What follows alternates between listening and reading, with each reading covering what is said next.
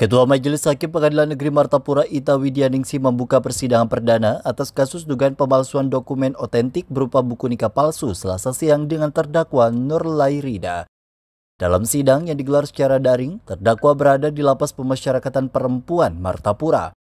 Persidangan perdana mendengarkan pembacaan dakwaan dari Jaksa Penuntut Umum Kejari Banjar Joko CS yang menjerat terdakwa dengan pasal 264 KUHP tentang pemalsuan surat otentik.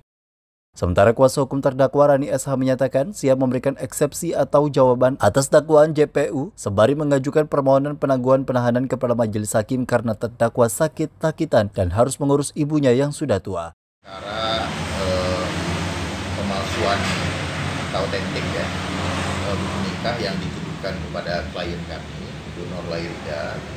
Sidang hari ini pembacaan dakwaan dan tadi ada tiga lembar dakwaan yang dibuat jaksa penuntut umum.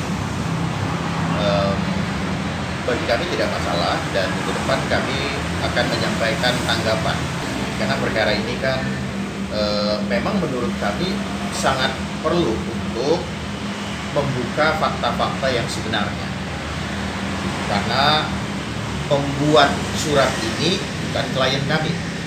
Pembuatnya sudah meninggal dunia klien kami tidak mengetahui surat itu asli atau tidak. Dalam sidang, JPU sempat merinci kronologi dugaan pemalsuan yang diduga turut digunakan untuk beberapa perbuatan melanggar hukum hingga terungkap saat terdakwa coba mengajukan permohonan ahli waris ke Pengadilan Agama Martapura pada 2021 silam. Tardasi TV Martapura